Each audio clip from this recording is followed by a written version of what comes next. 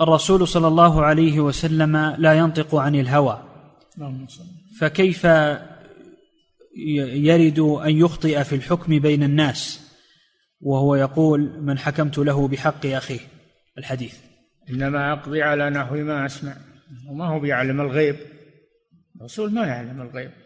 إنما يحكم بالظاهر بما يسمع على ما يسمع من الحجة. وكذا القضاة كلهم قضاة المسلمين على هذا. ما هم بيعلمون الغيب إنما يقضون بسبب الحجج. نعم.